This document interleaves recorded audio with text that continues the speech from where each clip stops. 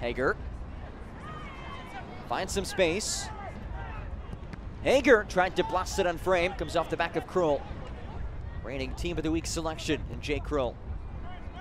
Hager works ahead. It's Ciss with the left. Omar Ciss buries it early.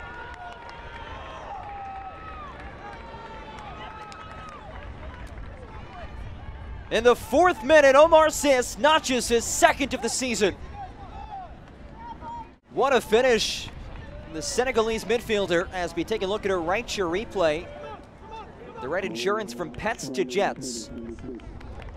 Watch assist just find a little bit of space. He pivots, makes that half turn, and is able to convert past a diving Marancio. Good passing in the final third as well. And Ciss.